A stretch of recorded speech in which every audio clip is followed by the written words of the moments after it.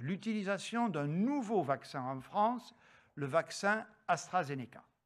Cela va nous permettre d'accélérer le rythme de vaccination. Grâce à ce nouveau vaccin, nous pourrons atteindre l'objectif de 4 millions de personnes ayant reçu leur première injection d'ici la fin du mois de février.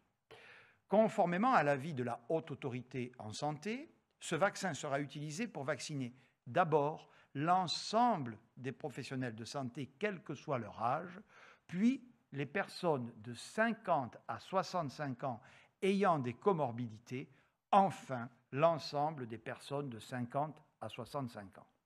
La première livraison de vaccins AstraZeneca, dès la fin de cette semaine, sera affectée aux établissements de santé pour protéger les professionnels de santé hospitaliers et de ville qui se battent en première ligne contre le virus.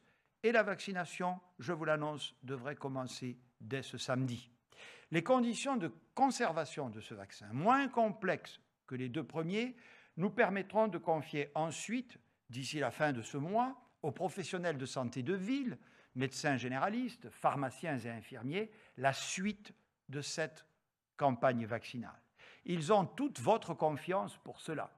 Et cela nous permettra de renforcer encore la proximité de cette campagne vaccinale.